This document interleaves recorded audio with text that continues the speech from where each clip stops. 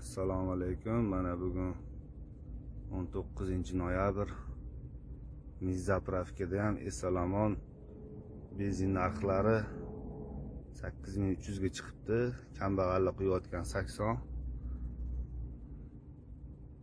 91 92 kilo 10 mingga chiqibdi. Kechirasizlaryu mana shu benzin narxini nazorat qilayotgan mutasaddilar rahbarlar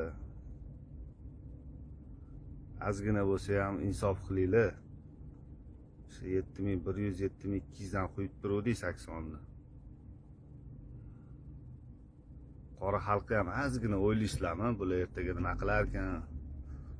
Qish sovug'ida bola chaqasini maktab bog'chasiga olib borish kerakdir. Срочно больницаga borish kerakdir. Nima endi moshinani uyga qo'yib qo'yib? Jim o'tiringlarmi uyda? Shuni xohlayapsizlarmi bir oy oldingi va'dalar qani? Hammasi xalq uchun inson qadri uchun inson manfaatlari uchun degan gaplar bo'lyotgandi bizni bunaqa umidlarda ovoz bermagan edikda prezidentimizga hozirgi. Biz o'sha va'dalarga ishonuvdik. Nimadir o'zgarar nimadir yaxshi tomonga o'zgarar degan va'dalarga ishonuvdik. Yo mana kundan kunga narx navo mana bunaqa samolyot bo'lib uchib ketyapti. Rahmat hammanglarga biz sizlarni duo qilamiz. Mana shunaqa holga tushirib qo'yganinglar uchun. Sakkiz ming bir yuzdan benzin olyapmiz sakson. E, uyalinglar ozgina sizlarga bilinmasa kerak lekin mana bitta qora xalq chirillab yuboryapti hamma norozi. Hammani kayfiyati mana shunaqa nima deydi ertalabdan mana shu narsalarni o'ylab xafa bo'lib uyg'onayotgan bo'lsa kerak hozir xalq.